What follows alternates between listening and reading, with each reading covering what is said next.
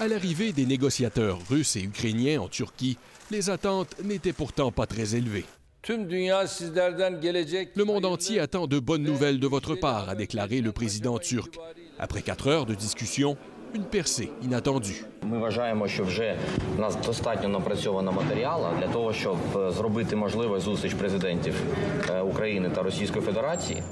Les négociateurs ukrainiens ont proposé que le pays devienne neutre, sans présence militaire étrangère sur son territoire.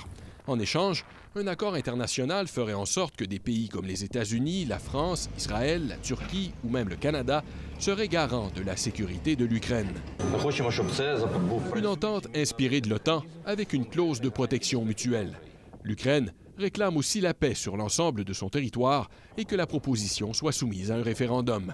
Kiev suggère aussi une période de consultation de 15 ans sur le statut de la Crimée, annexée illégalement par la Russie en 2014. Le négociateur russe évoque des pourparlers constructifs. La proposition sera soumise à Vladimir Poutine. Et pour favoriser le dialogue, la Russie propose un apaisement de réduire radicalement les activités militaires de la Russie dans les régions de Kiev et de Tcherniev. Le chef de la diplomatie turque parle des progrès les plus importants depuis le début des pourparlers. Mais sur le terrain, les obstacles demeurent nombreux.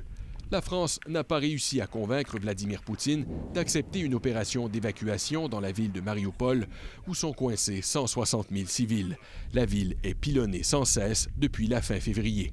Ce que les troupes russes font à Mariupol est un crime contre l'humanité, a déclaré le président ukrainien devant des parlementaires danois.